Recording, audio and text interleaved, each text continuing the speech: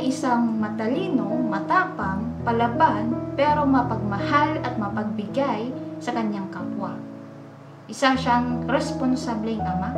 Although hindi siya perfect father na tinatawag, katulad din ng ibang tatay, mas nanibabaw pa rin ang kanyang kabutihan na nagawa sa aming pamilya, lalo na sa huling sandali ay hindi niya kami pinabayaan. Sa prutas, pineapple. Then, sa mga movies, mga action movies.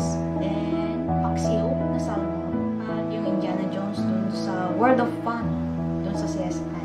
So, mahilig siya maglaro ng mga ganun.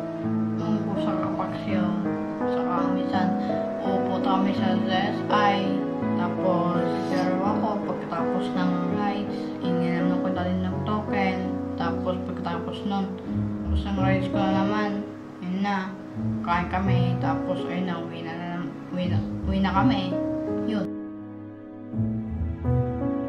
Mag sa kiss niya, tapos minsan nagkikinig siya ng music, pag natutulog siya, ng hapon.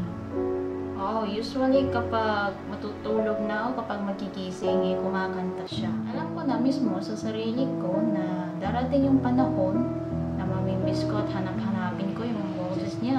At yun nga, nangyari na nga. Miss ko yung tawa niya. Tapos, minsan, pag nag-joke si daddy, tumatawa kami. Oo, mahilig siya mag-joke. Tapos, si mami at daddy noon, andun naman ako sa kanila, dalawa. Mahilig silang magkwentuhan ni Mami. Nung in-invite kami ni Daddy sa isang church dahil doon mas lumalim pa ang aming pananampalataya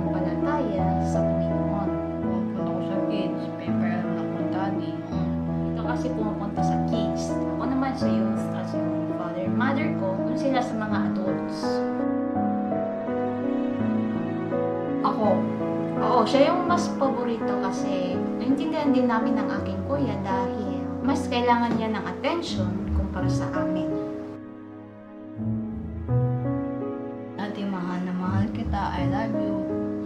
Father's Day, Mama. Happy Father's Day. Salamat sa lahat ng pagmamahal. Salamat dahil pinalapit mo pa kami sa Panginoon. At dahil doon nagkaroon kami ng mas lumalim ang kami, aming pananampalataya at pananalig sa Diyos. Sa lahat ng fathers, Happy Father's Day!